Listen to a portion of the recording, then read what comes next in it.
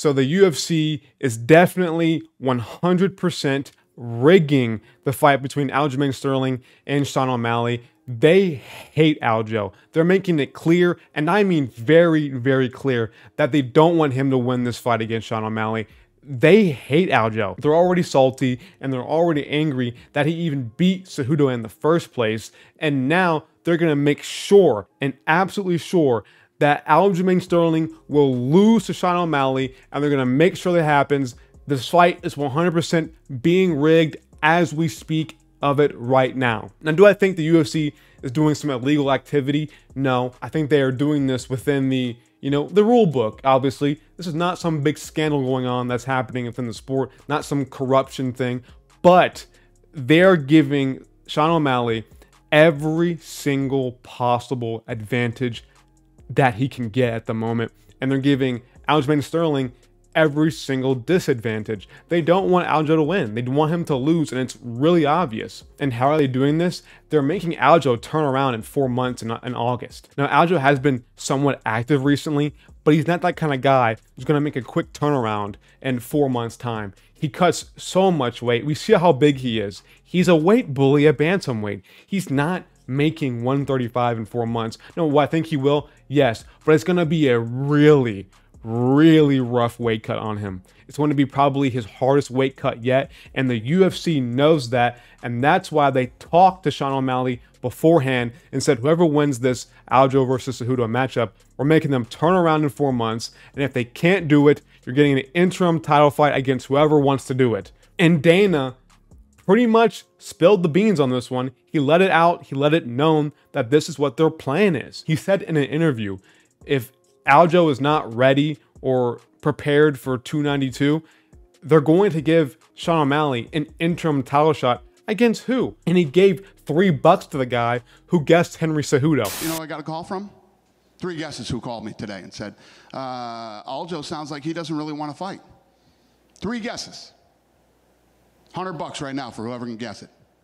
Henry. Who? Henry. Oh shit.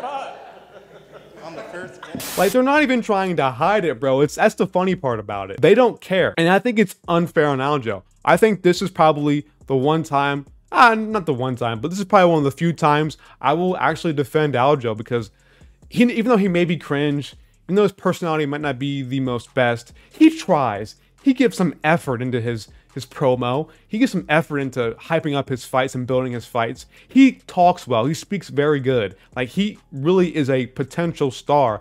But since the Yan fight, people just don't don't care. They don't like him, and that's just what it is.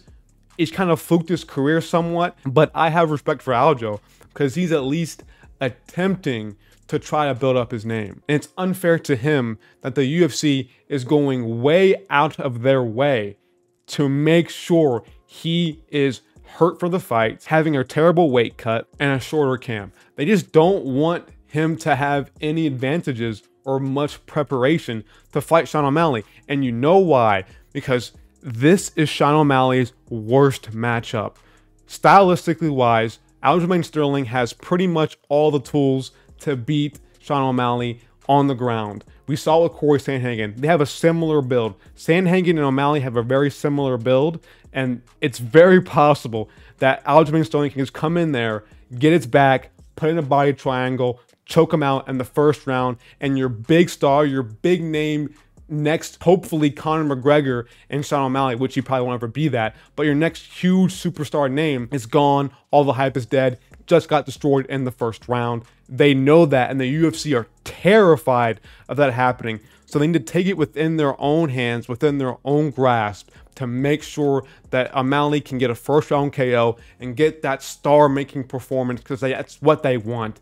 They want that so bad. And it's not O'Malley's fault. If I was in his position, I would be doing the same exact thing. But I, the UFC can at least try to make it a secret. When O'Malley came into the cage after Aljo lost, he was already saying, you better be ready to cut weight soon. He was already telling Aljo that he's going to have to have a quick turnaround. He's been talking to the UFC probably ever since the Yan fight about him fighting in August against whoever won in between Aljo and Cejudo. I mean, they've been tight like this, O'Malley and the UFC. They're definitely pulling some strings, twisting some things to really get on O'Malley's good side. There's no way they're not. And you could even tell in O'Malley's post-fight press, he knew that this was going to happen. He knew longer than anybody probably has ever known that he was getting the next title shot against the winner of Aljo and Cejudo. And the UFC needs a new star. We need another star besides Adesanya. We need that next big name. And Sean O'Malley is that next big contestant. However, this is his worst matchup. So they kind of have to do this. And this is not a new thing the UFC has done. Whenever their big star is waiting for a fight or has a fight coming up, they typically make, make the contender the person who they want to lose have a quick turnaround so that the person who they want to win has an advantage. They're probably going to do the same thing for Adesanya depending on who wins the Whittaker and Du Plessis fight because whoever wins that fight, they're going to have to make a quick turnaround if they fight Adesanya at 293. So the UFC is definitely trying, like they're making it obvious they, they want to give some certain fighters advantages like i don't think the ufc is doing illegal or really shady behind the scenes actions but they're definitely making it known like they're definitely pulling some strings and definitely you know cooking some things up in the lab to where they can give certain fighters advantages and it does feel bad for aljo because like if he if he does win against o'malley people aren't going to like him you know people are going to hate him I like Aljo. I think he like he's earned my respect throughout the,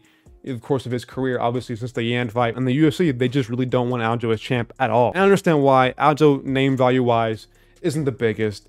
His, his fights, you know, they're not dull in my opinion, but they're not the most exciting fights you're ever going to see. His personality is cringe, you know, the whole situation with the Yan fight, the first one, that kind of put a, a bad hamper on him as a person. So they kind of want to remove him as champ and it makes sense. But I think they need to give Aljo a fair shot. They just need to. Aljo right now has probably been the most active he's ever been in his career. As a champion, he's been a very active champion. Like he deserves five to six months off to like heal up. And he might not even be healthy. Like I haven't watched this video, but I saw in the title that he was basically saying like, am I healthy?